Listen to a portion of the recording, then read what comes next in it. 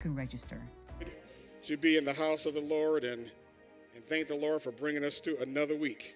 Amen. We don't take it for granted. God has been faithful, He's been gracious to us, and it's just good to gather again. We started last week. We're going to jump in this morning. I won't keep you long, but I want to continue in our relationship teaching. We're in week two. Um, you can take out your uh, mobile device if you have YouVersion. If you don't, you can download it. Is a Bible app and open, click on events, and hit Impact Church, and it will show you today's outline, not just the scriptures that we're reading, but also a few of the points that you can make a notation of that will help you go back and study the Word. We, um, well, let me just jump right in and then I'll, I'll kind of go backwards to where we were. But how many know when your relationships are in a good place, your life is in a good place? Yeah, when your relationships aren't in a good place, your life is not really in a good place because that can, can affect every other part of our lives. And so I think this teaching is, is quite necessary. Um, I know there's a lot of challenges that we face, and we, we show up in different places and different spaces uh, in different roles. You know, for some of you, you show up as mom, as sister, as wife, as friend, as daughter, or husband, or brother, or whatever it may be. We all have different roles in different places and spaces that we fill. And the best thing we can do when we enter into those spaces is to enter how we want folks to enter during COVID healthy. So every relation that every relationship that you have, the best way to enter it is how? Healthy. Come on, somebody say say healthy. Yeah, we want to enter into those relationships healthy. So hopefully some of what we do over the next several weeks will help help promote that and do something special in your life. I was preparing and I thought about um, something I've shared before, but it fits um, well here again. Uh, se- uh, centuries ago, the Chinese built a great big wall, and you know it is the seventh, one of the seven wonders of the world. It's called the Great Wall of China.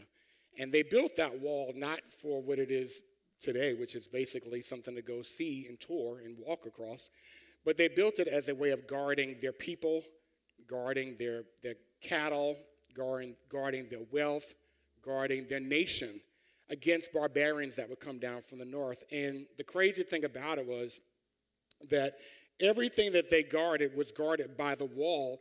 And the wall was built in such a way, way back then, that it was so high that it could not be scaled over.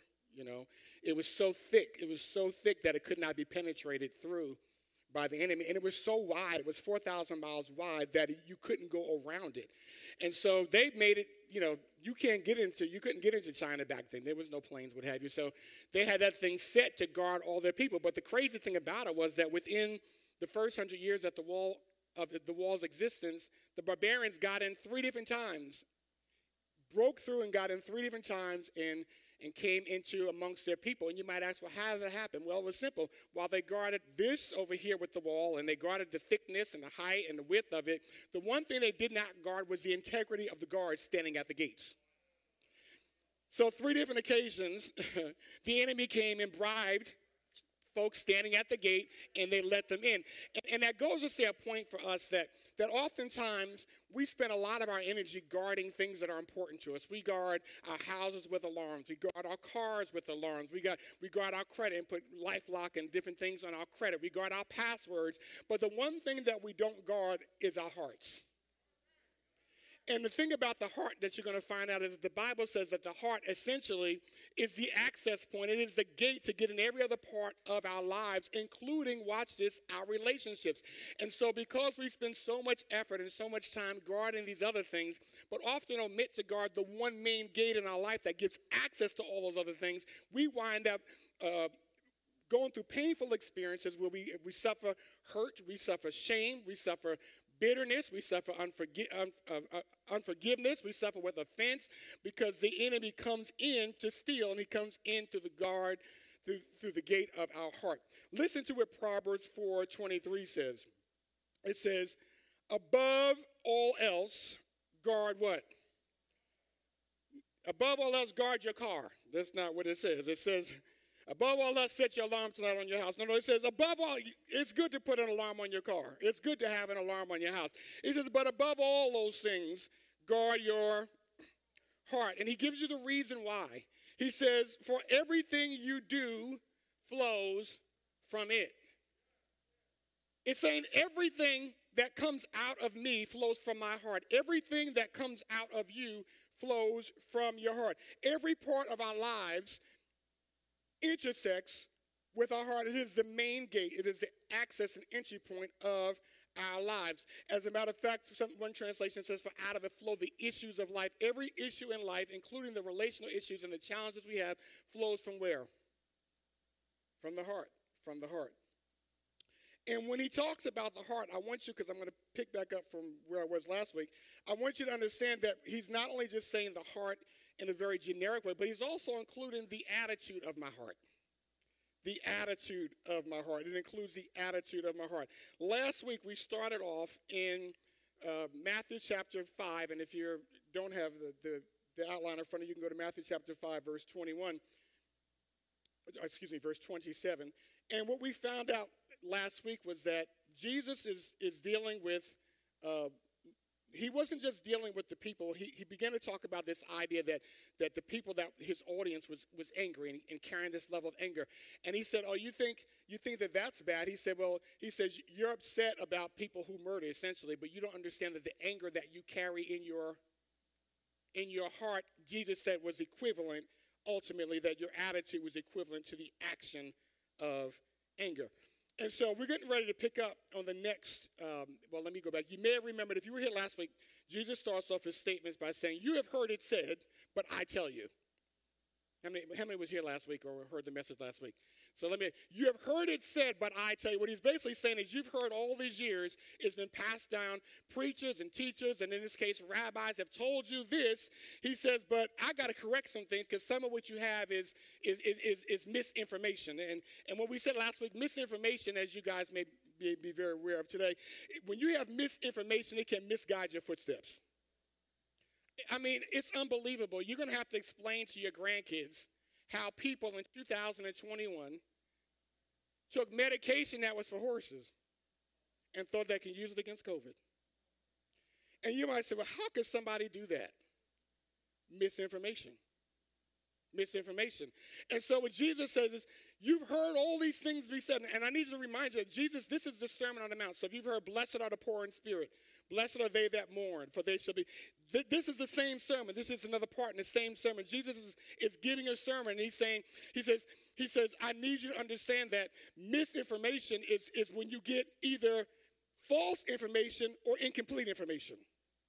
So he says to them, You have heard it said, but I say. So, we, what we're going to find out in this series is how does Jesus correct the misinformation that I have about relationships? How many of you did not go to school to learn how to have relationships? Nobody teaches you how to have a relationship.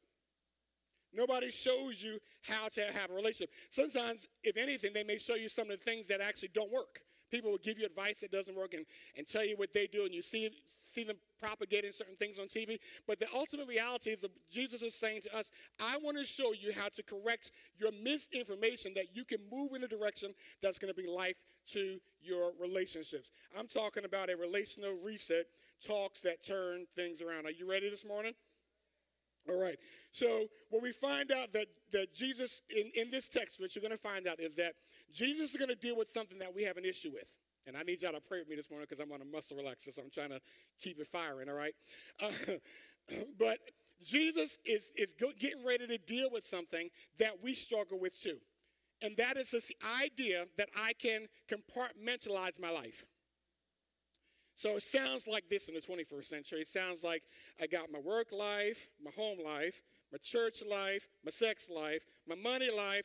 I got all these different lives. And what you're going to find out that Jesus says, no, you really only have one life. And what you do in your church life, your work life, your money life, your sex life leaks over into that whole life. And what you're going to discover today is how Jesus wants to go below the surface of how we look and, and what what's seen on the surface and deal with the things that are beneath the surface that are destroying our life and making it not integral but compartmentalized. Amen?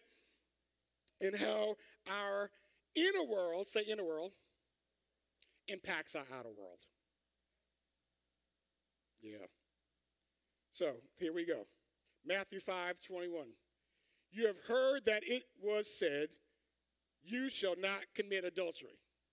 Now, this, that was said in the law, so that's true, but it's missing something. He says, But I tell you that anyone who looks at a woman lustfully, oh man, why did I go to church this time? I could have streamed today. uh huh. but I tell you that anyone who looks at a woman lustfully has already committed adultery with her in his heart. Now it goes deeper. If your right eye causes you to stumble, gouge it out and throw it away. It is better for you to lose one part of your body than your whole body to be thrown into hell. And if your right hand causes you to stumble, cut it off, throw it away. It's better for you to lose one part of your body than for your whole body to go into hell. What a hard text. And when you first read it, the first thing you're going to think about is that the only thing that the text is about is adultery. And what I want to show you this morning that this text is not just about adultery, although it is about adultery, but it's about a whole lot more than adultery. It's about what happens in my inner world and how that impacts my outer world. Are you ready? So, what we find out here is that Jesus is, is preaching to, and I'm going to tell you in a minute about the type of Pharisee because there was different versions or sects of Pharisees. Jesus is teaching and preaching to the Pharisees. And he's he's saying to them, Yeah, you heard that if you commit adultery, you know, that you should not commit adultery. He says, You've heard that. He says, Yes. He says, That's part of the truth, but that's not the whole truth. He says, You you got some misinformation. So what Jesus begins to do is he says, Let me expound on what you have heard. He says, I'm going to go back to the old covenant or the old law and explain to you that the intention of the old covenant was not just around the action of adultery, but the attitude behind it. Because what they were doing, you'll find out in a minute, was that in their mind, they say, oh, adultery is easy. That's cut and dry. It's either you did or you didn't, you know, and woo, I didn't do it. I'm good. And, and it sounds cut and dry, but he says, hold up. But if you have looked at a woman lustfully, you've already committed adultery with her. Where? Where? In your heart. So, what Jesus is saying, he, Jesus begins to equate an action, watch this, with an attitude. Oh, you missed it.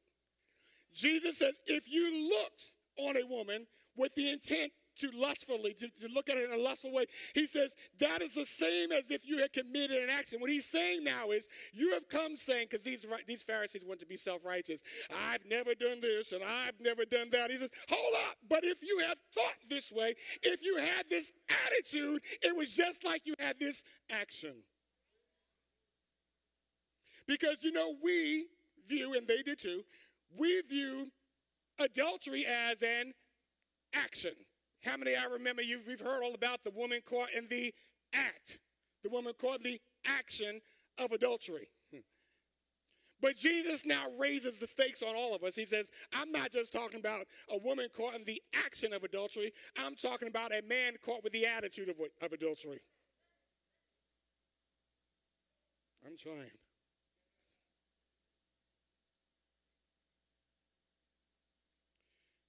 And, and so you may say, well, Ooh, this sounds so tight. We're going we're gonna help it. It's going to come together in a minute.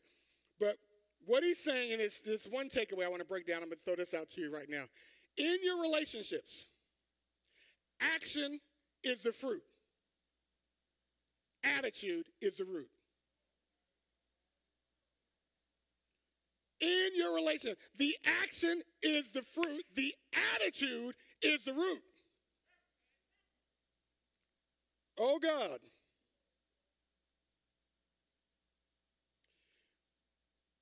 We often target actions, but Jesus targets attitudes.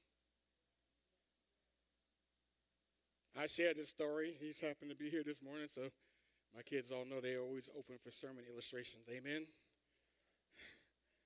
But it, it, point, it painted a picture. I had to use a different one, so I never had a different one this morning, but I don't. And um, yeah, I, this I forget how old the boy was. Um, probably about fifth grade or something. I don't know. Um, and he, we, you know, Christmas, I was tired. We had already put all this stuff and spent all this money. Y'all know when you parents, you put stuff together and you assembling and you arranging and you hiding and you uncovering in the middle. You know, you go through all this work.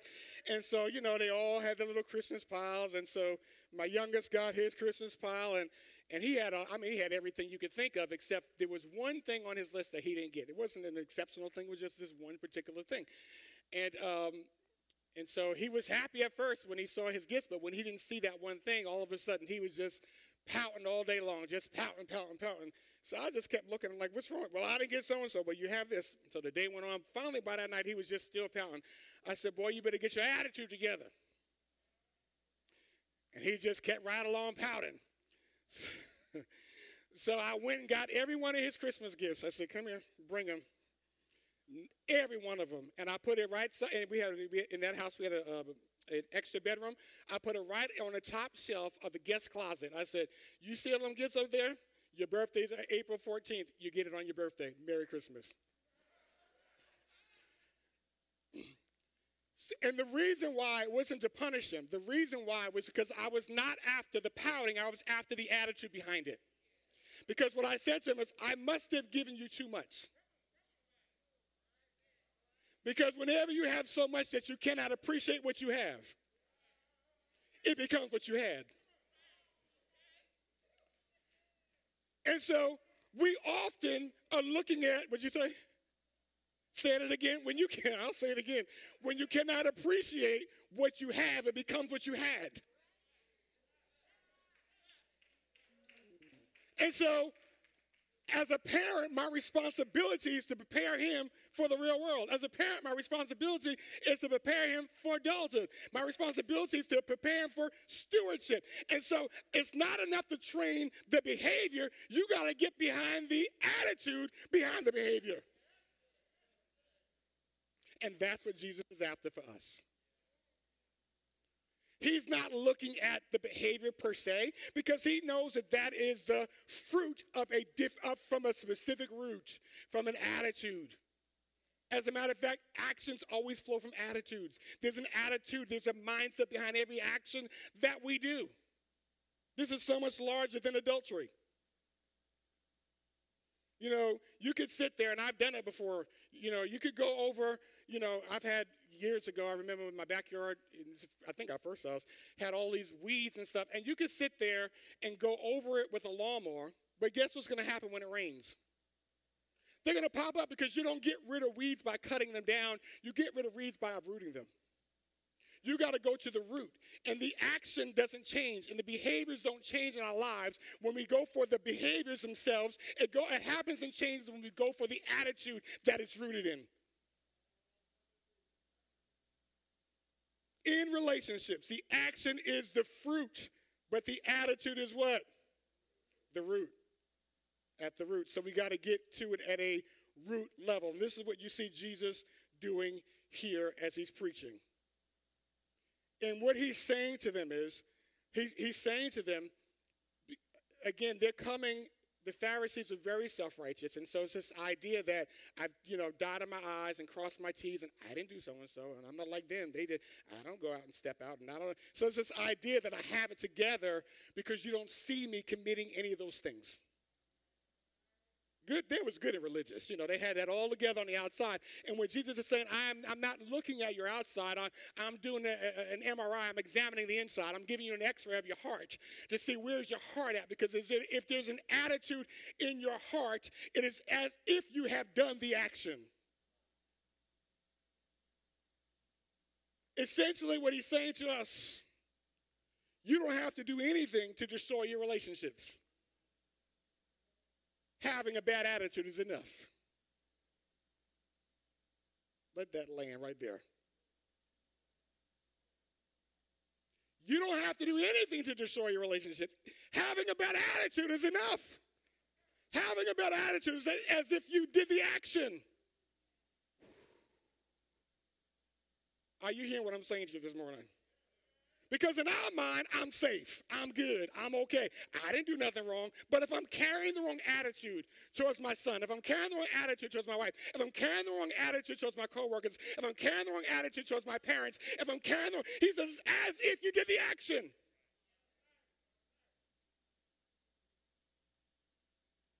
Because every action even is rooted in an attitude, and every attitude eventually will bring the fruit of an action. Listen to what Matthew 15 19 says. For, and it just confirms Proverbs 4 For out of the heart come evil thoughts murder, adultery, sex, sexual immorality, theft, false witness, slander. It comes out of the attitude of our heart. Those things come out of us. He said, he, he says, I'm going to take you back to the root. I want to get below the fruit, and I want to get you to the root because the attitude of my heart, and I'm going to be quick this morning, the attitude of my heart will either develop or destroy my relationships.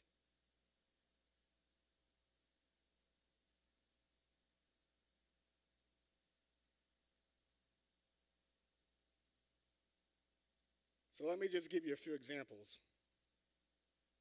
Some destructive attitudes so that it's nice and pliable for you this morning.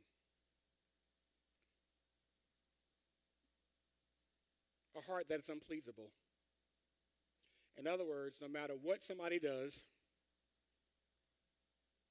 to love, to correct, to serve, it's never enough. I said sorry. You should have said sorry a long time ago.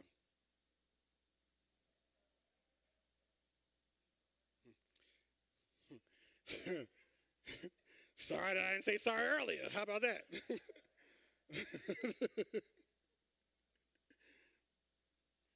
I stopped off and got you flowers. You should have got me chocolate. Unpleasable. Right? Because underneath that is this idea and this attitude that that person should be able to be everything for you. And baby, can't nobody be everything for you but Jesus. I don't care how good they look. I don't care how fine she is. Can't nobody be everything to you but Jesus. Unforgiveness. Oh, this is one we you know. Unforgiveness you know, it just blows my mind. I, I couldn't believe that during the middle of a pandemic, especially at some of the hardest parts and hardest times, to hear people say, I ain't talking to her. Do you understand your life could be gone tomorrow and you're worried about what somebody said to you last week? You need to let that stuff go. How could you hold on to offense in the middle of a pandemic? Unforgiveness is an attitude of the heart. Pride, another attitude of the heart. Pride says, I can't be wrong. I can't be wrong. I'm too proud to be wrong. I'm too proud to consider that I could be wrong. I'm too proud to get help and support. Y'all ain't going to say nothing because I don't want nobody to know my business. Uh huh. That's pride. Here's one we don't talk about a lot. When it's out of the right context, competitiveness. You know, this thing, it, it's almost like that TV commercial anything you can do, I can do better. It's like you're on the same team. Why are you competing against somebody that's on the same team as you? You know, the Bible, especially even in, in a, in a uh, spousal relationship, it is not a com- competition. It's, you're supposed to complement each other. We're on the same side. You're supposed to have, if I got a weakness here and you got a strength, that should build up me up. And I got a strength and you got a weakness, that should build you up. It's not about competing with you. How can we complement each other? I have, we had friends one time that um, they were both really sick, and um, they, they lived in Florida. These are these are our friends' parents. They lived in Florida, and they had to get to New York for for I can't remember which one of them needed treatment now, but um, the husband had cancer, right? He had cancer and he could not drive. He was laid out. But the mom had Alzheimer's. So, for whatever reason, I can't remember the medical reason, they could not fly to New York. So, we were just in prayer with their children that are our age that the parents would make it from Florida all the way up to New York. The husband is laid out in the car. And the, and the wife don't have, she don't even know where she is. You know what? They made it. You know how they made it? Because she had the physical ability that he didn't have, and he had the mental capacity she didn't have. He gave her directions, she made it all the way to New York. That's what happens when you stop competing with each other and you start complimenting each other. You recognize that you have a strength that I don't have, and I have a strength you don't have, and together we can get further than we ever could by ourselves.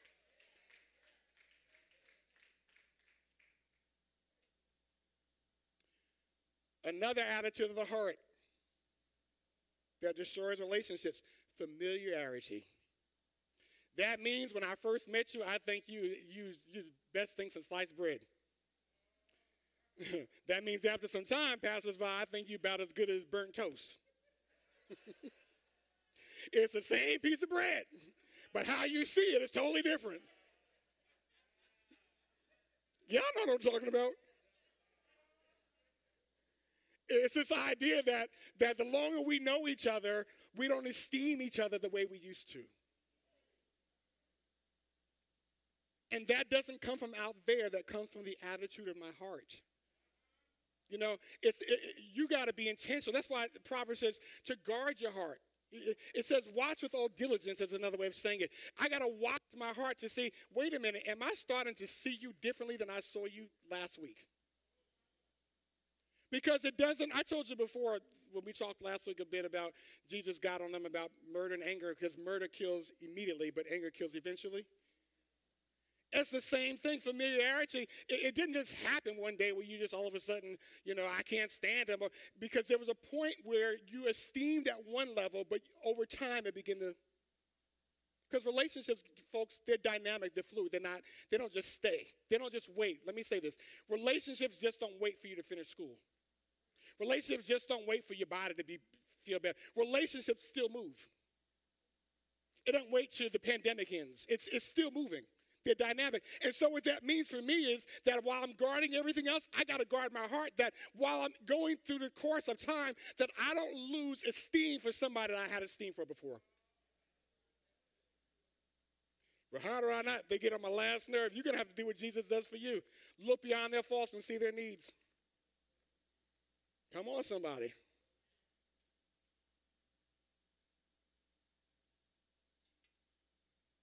And I'll give you this last one, and because that this one is what we see in this text specifically. This idea of being this this attitude of self-righteousness. I'm right, you're wrong. I'm right, you're wrong. And what we see Jesus saying is that may be true. Maybe the person did wrong. Maybe they did commit an act from adultery to being late. Whatever the act is, the action is. That may be true. But just because they did the action and they're wrong, if your attitude is wrong, you're on the same easy. I didn't do nothing wrong. But that attitude right there that I just did, he said that's just as bad as what they did wrong. Whew, Jesus. Woo, this is hard work and hard work, right? it's like, Lord, but he says, I want you. You'll find that at the end of all of this, that the end of all of this teaching is that we look like Jesus. And God has this way of making us after his own image by using spiritual sandpaper relationships.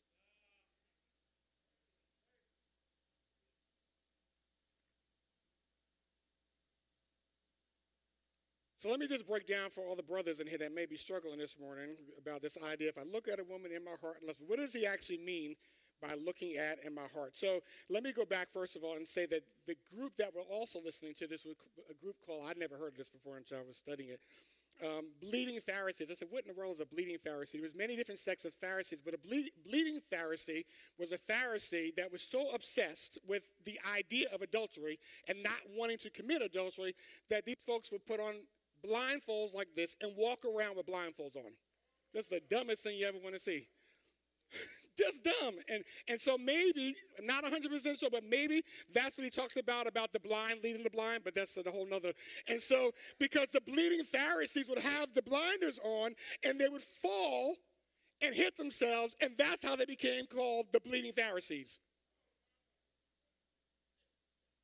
Just dumb. Huh? You met something like, yeah, amen. And so they were so obsessed with, with um, not being caught in adultery, because remember, adultery, unlike today, adultery was a capital crime. Remember that woman caught in the act that they were about to stone? They were going to stone her because it was a capital offense worthy of death.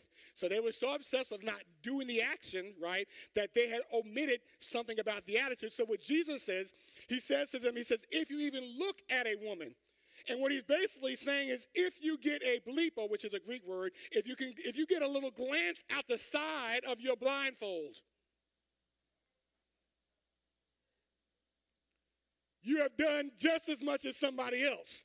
So really, is he actually talking about the, the side of the blindfold? No, what he's he's trying to land a bigger point. He's actually saying is if you are living it in your fantasy, it's just as bad as if you did it in reality. Because watch this, both have real world consequences. And I need to just stop here. We think that only what I do in reality has real world consequences, but also what I do in fantasy does too. And fantasy can look a whole lot of different ways. Let me just park real quick here. This is we're going into the 12 for, for a quick second. Fantasy can can just like uh, just what he's saying to him, he's saying just like adultery can kill your relationship, so can fantasy. And it's happening right now across our country and across our world. I'm going to throw this out to you right quick. 95% of men participate, have at least one time participated in viewing pornography online. How many know it's a big issue right now? Don't y'all feel a lot better, women, that it ain't y'all? But it is. you know it's coming. Over 70% of women participate in pornography. Mm. Let me say a few things. Do you know the reason why? And I, I, I got to talk about this. We don't get the opportunity to, to gather the way we would like to. So I'm going to talk about it right here on a Sunday morning. The reason why men turn to pornography, the number one reason, because they feel safe from rejection.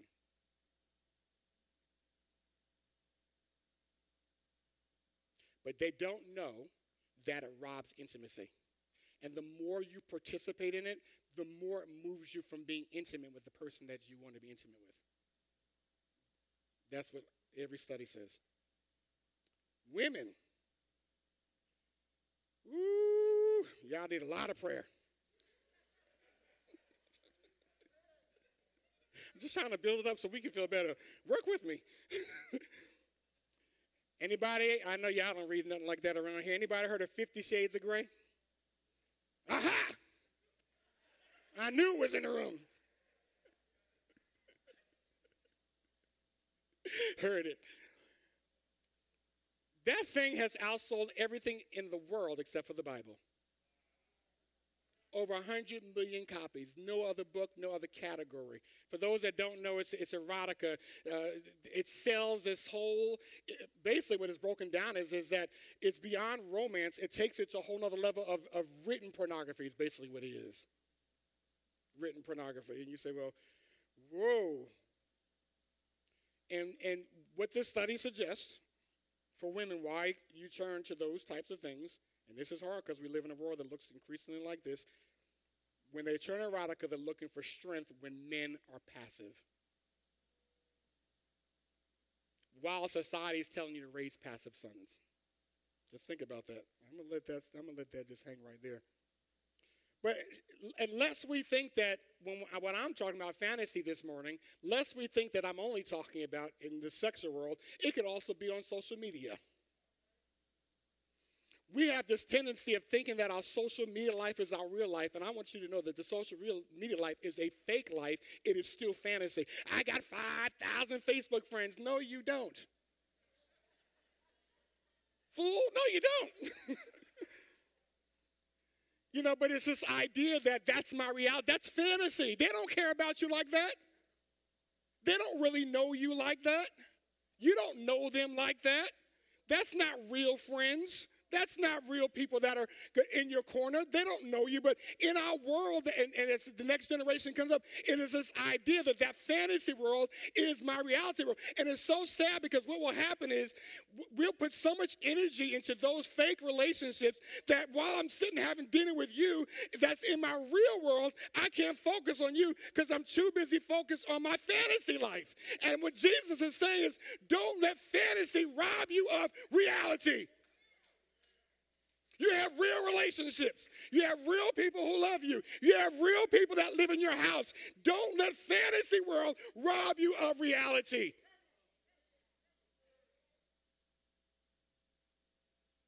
Drop it. I can drop it. I ain't gonna drop the mic, but I drop my phone.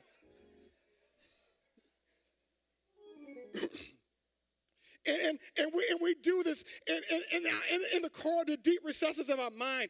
Even the last part about fantasies is the ideals that we bring into relationships that, that, that you know, um, it's just when you see somebody else's husband, I wish he would love me the way he loves her. You don't know how he loves her. You don't live with him. All you see is the perfect version. You, don't know, but, but it becomes this, this fantasy. And then when you get stuff, uh, you know, pornography, other things, you have these, these ideas in your mind about a fantasy. Can I tell you that every time you have a fantasy, it, it's pretty much to the, to the filter of perfection. And so you have the perfect person, the perfect spouse, the perfect lover, the perfect friends. It's always a fantasy, and no one in the world can live up to your fantasy because no one in the world is perfect. And God has not called you to love perfect people, He's called you to love imperfect people. But the enemy wants me to give up. He wants you to give up our reality by this fantasy. You know, sometimes you hear singles say, yeah, "I'm wait, I, I, the Lord gonna send me somebody. He gonna send me." And I had a friend one time. She came up with so many things. She had. He was gonna be. This is way back in the '80s. He gonna be making six figures. Mm-hmm. He gonna have four degrees. Mm-hmm. He gonna be handsome and fine. And she had a whole. I said, "Well, what are you bringing to the table?" yes, we still friends.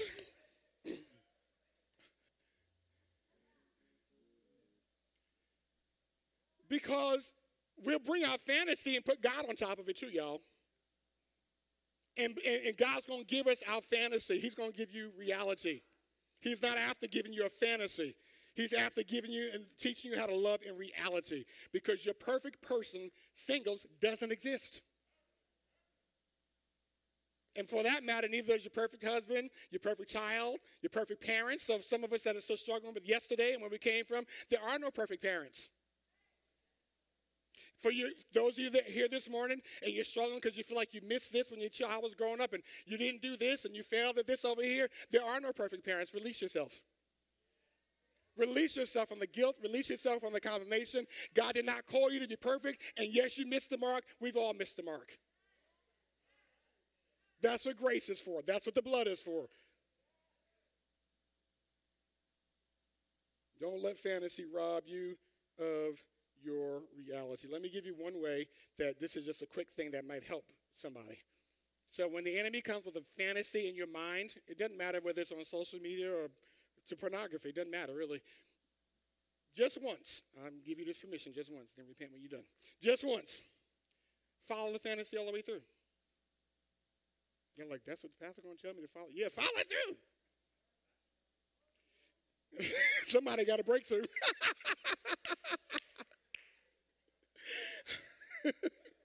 Lord Jesus. I wasn't ready. All right. Pastor, what do you mean follow all the way through? Go all the way through to it where you have the affair. Go all the way through to when you step out. And then go through to the next scene. Go fast forward to the next scene when, you ha- when you're watching your wife break down and crying in front of you. And then fast forward to the next scene as you're leaving your kids with your bags in your hands and it's saying, Daddy, don't leave. See, that's the part of the fantasy the enemy doesn't show you. He only shows you what looks good, he doesn't show you how it ends. You, you better follow that thing through and recognize that I'm not going to let fantasy rob me of reality. I see what that looks like, but I got a reality that's so much better than your fantasy. And for God I live and for God I die. I'm not going to let you take what God has given me because I run after fantasy. See, the devil doesn't show you that pretty fine thing when she's thrown up in the toilet. He don't show you those things. He shows you beauty and glamour and body. He don't show you all the fire that's behind it. You never see that perfect person suffer. You never see them sneeze. You never see them vomiting because it's always a perfect picture. So follow it through until it's not perfect.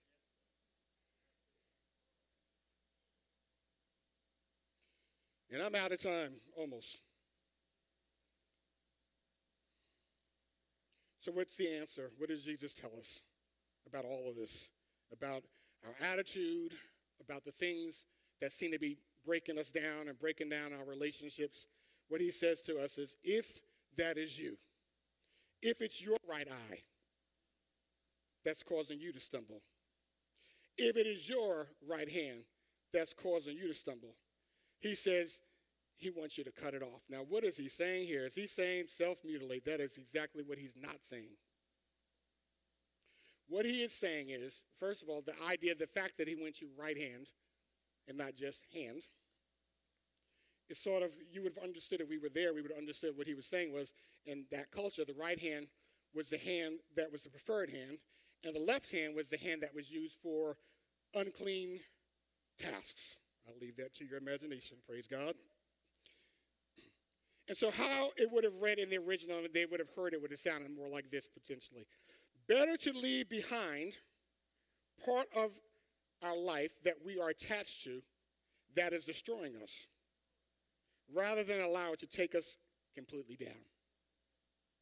So, what you saying is, you know, well, let me give you a quick illustration. There's a movie called, I didn't see it, but I saw the preview 127 Hours, where a gentleman was rock climbing and he fell.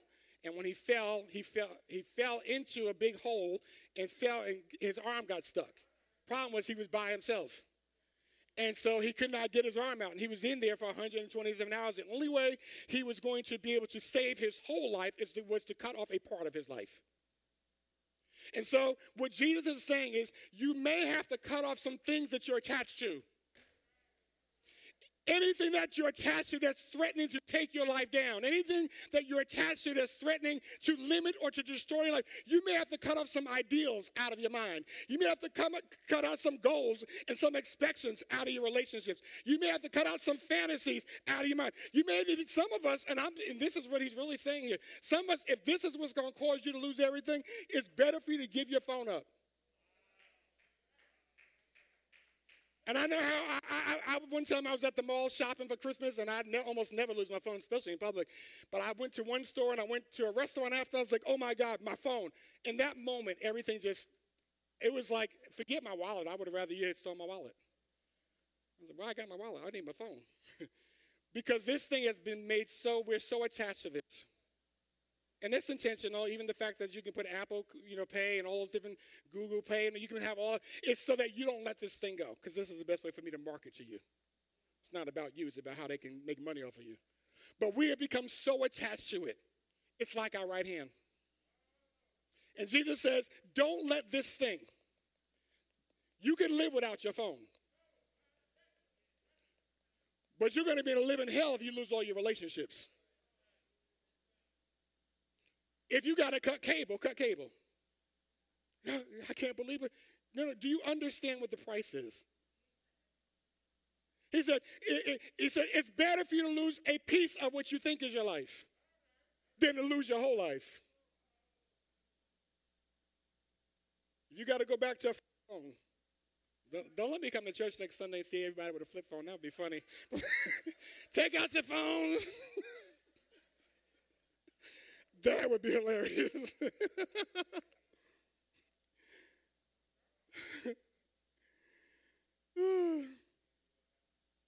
the blood. So, anyway, so what we find here, and I'm done, I'm just going to say this, and this is a term that I've, I love because it shows you the power that He's given you. I might be that person.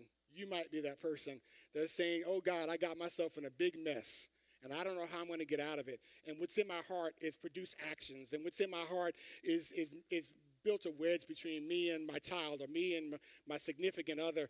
And, and I don't know what you, God, will you get me out? And God says, Jesus says, well, I can get you out, but it's not the way you think. How I'm going to get you out is you're going to cut off the thing that offends you. I'm not going to cut it, but you're going to cut it. So what he's, what he's actually saying is, I'm giving you the power to make the decision. So some of us are waiting for God to deliver us by miraculous means. And he says, No, no, I'm giving you the power to walk out your deliverance. So now, essentially, your deliverance is in your decision. Your deliverance is in your decision. If you, if you need God to deliver you from a fantasy world, whatever it looks like, it might be envy, it might be uh, comparisons. It might be the, the fantasy world of, of porn or erotica. It doesn't matter what it is because before God, the biggest thing is He wants our heart. And that's not a hard thing. The hardest thing is, is the part that it's got to happen to me where I say, God, I'm giving it. Y'all come on up. It's where I say, God, I'm giving my heart to you. And, and I, the cost of what you've given me in Christ Jesus is worth it. So you can have all of that. It doesn't matter what it is. It doesn't matter how glitzy, how attractive it is. It doesn't matter how great it seems. I'm willing to lay it down. I, I'm, I'm giving up all the things that I thought I needed that I can make it and do what you called me to do. I want you to stand on your feet this morning, and I want us to just kind of walk out a, a surrender before the Lord. And I want you to hear what I'm saying to you this morning. This sermon, this text, which is a hard text to preach, in my opinion, um, this text was not about Jesus condemning the hearer. This text was him saying, This is how you get from where you're stuck. You, can, you might have been stuck for 127 hours, but this is how you can still live after. This is a very redemptive text. It's not, he's not here this morning to shame you. It doesn't matter what it is. God is not shaming anyone this morning. What he is this morning, he's offering freedom. He's offering freedom. He's saying that the captives can't go free. And that just because one part of your life has not been the way it needed to be, your whole life doesn't have to end that way. Amen? So, can we just ask the Lord just to take whatever is hindering us and whatever's in our hearts, and you know it, what it is, and take a moment and just talk to the Lord this morning and, and give it over to Him. Make, make that decision this morning, whatever it is. It could be a thought, it could be an expectation, whatever it is, it's, it's probably not even very many, it, it may not be something tangible, but whatever it is, turn it over to the Lord this morning. Amen.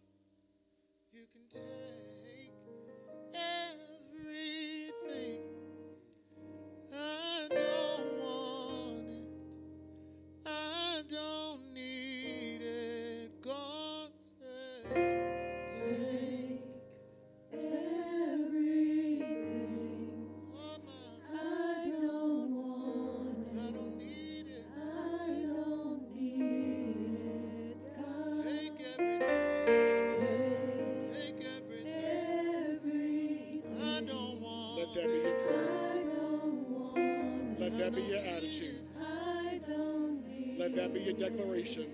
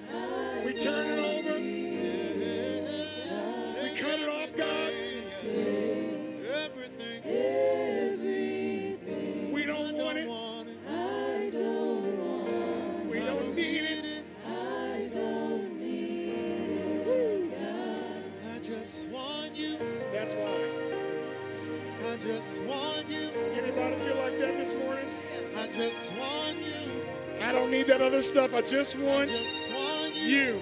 Just want you. I just want you. I just want you. Hey. I just want you.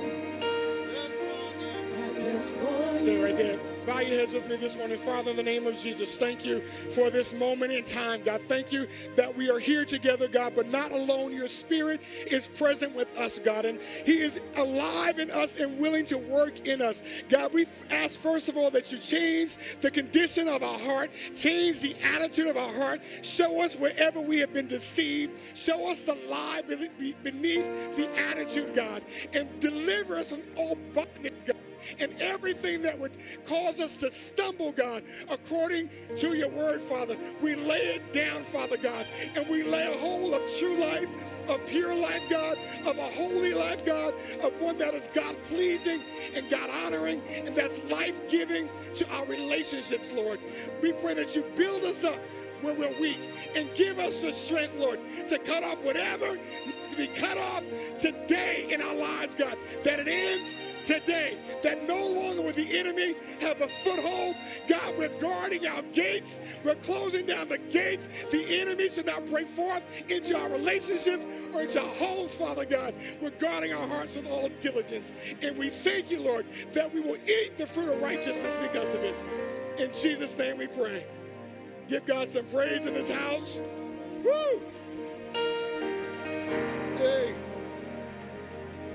You may have your seats this morning. Praise God.